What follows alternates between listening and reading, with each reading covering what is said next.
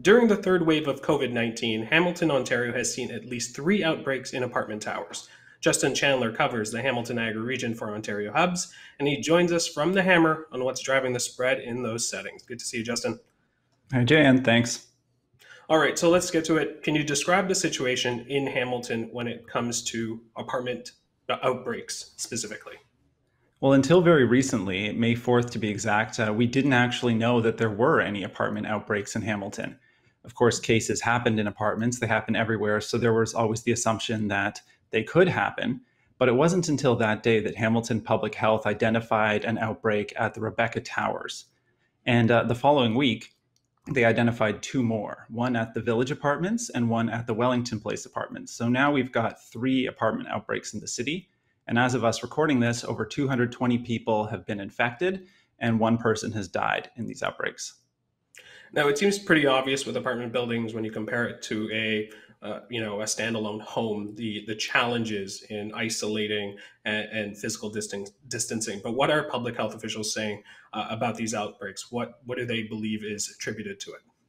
Well ever since the start uh, with the rebecca towers case hamilton public health has been consistent in saying that they believe that socialization between residents uh, is the cause of this. And they've said that that's not necessarily um, just people going over for a gab, but maybe people going to deliver groceries to somebody or trying to help someone out with some childcare.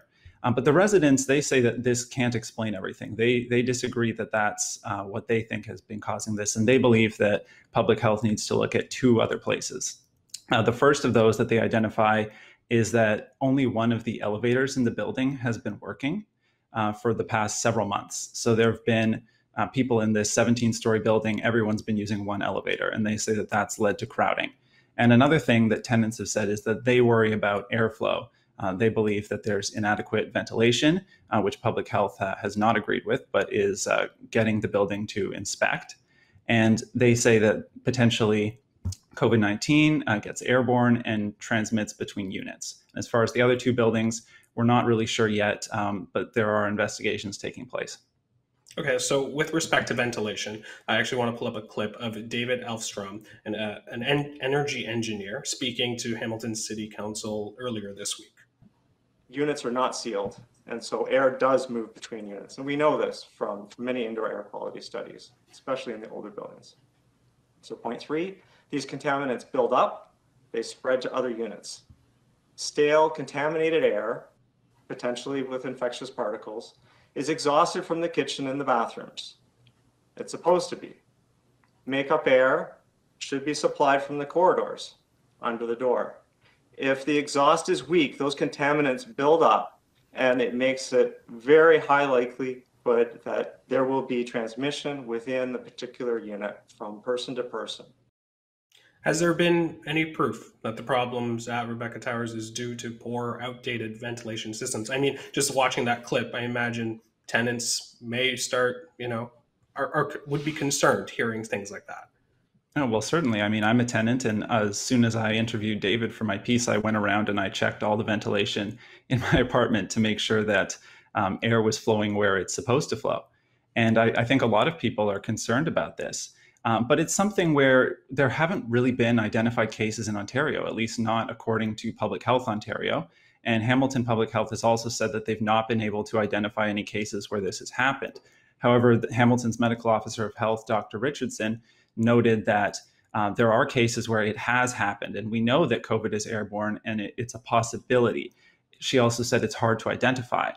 So that leaves some questions. There's also research by Public Health Ontario and by the National Collaborating Center for Environmental Health, uh, which show that airflow transmission is possible uh, and good heating, ventilation, air conditioning systems can help prevent uh, any sort of COVID transmission by keeping air moving. They also say things like opening your windows can help.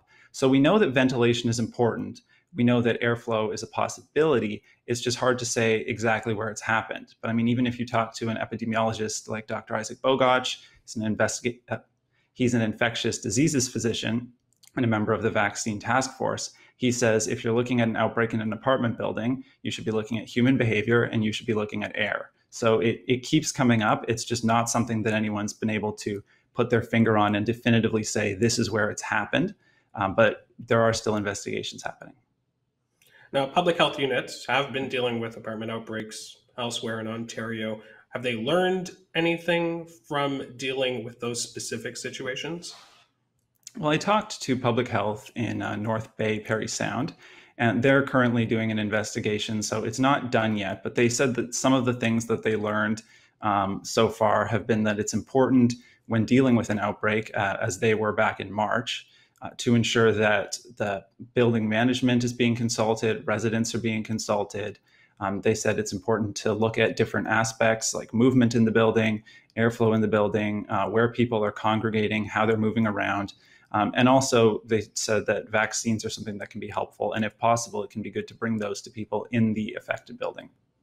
Now, Justin, you spoke to Emily Power, a Rebecca Towers tenant committee member, and she had this to say at the Hamilton City Council meeting on May 17th.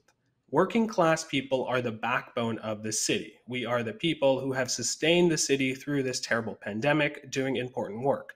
And we feel that we deserve to have the vaccine brought to us to save our lives. What's interesting to note is that these buildings are not in provincially or municipally designated hotspots or high priority areas. So, is there a plan now to get residents vaccinated? Uh, yes. So public health has been working to bring homebound residents, so people who they say um, can't get out to go to a vaccination clinic for various reasons, to bring them their vaccines. They say that they have vaccine ambassadors working at the buildings to try to encourage people to get vaccines and to let them know about clinics. And they've also worked to designate spots at uh, mass vaccination clinics nearby so that people can come and they'll have, let's say, an, an hour on a Wednesday night or something like that, so that people from these affected buildings will have a dedicated time that they can go and make sure that they get their shots. Now, the tenant committee in Rebecca Towers, for example, says that that's not enough. I know in the village apartments, they've also been pushing to try to get on site vaccination clinics. Um, but public health says that that's very resource intensive and it's not something that they want to do. I am curious to know during this situation, during this outbreak, have people left the building? Were there concerns that, hey, you know what, this is not being managed well, that I need to get out? I'm not sure about that. I don't know if uh, if it's caused people to flee. I know that people are definitely worried about it, um, and it's really the, the whole neighborhood uh, is concerned. Like Emily Power, for example, doesn't live in the Rebecca Towers, but she's someone in the neighborhood, and she's trying to work with people in the community there. And as you said, this is not a designated hotspot. And the Hamilton Spectator has found that it's actually um, the area in the city with the second lowest vaccination rate. There's a high preponderance of essential workers, public health has noted. So, really, uh, people in that whole community are the people who are helping keep our warehouses running, for example. They're people who are working to keep society running. And I think that uh, whether or not they want to now leave their apartments, uh, they definitely feel like you know they've been working hard they've been trying to do their best and i think a lot of them perhaps feel like society's been letting them down justin i want to thank you so much for this we'll see you on the next one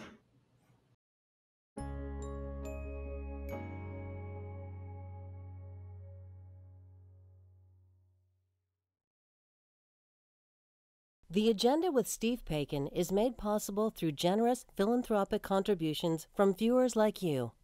Thank you for supporting TVO's journalism.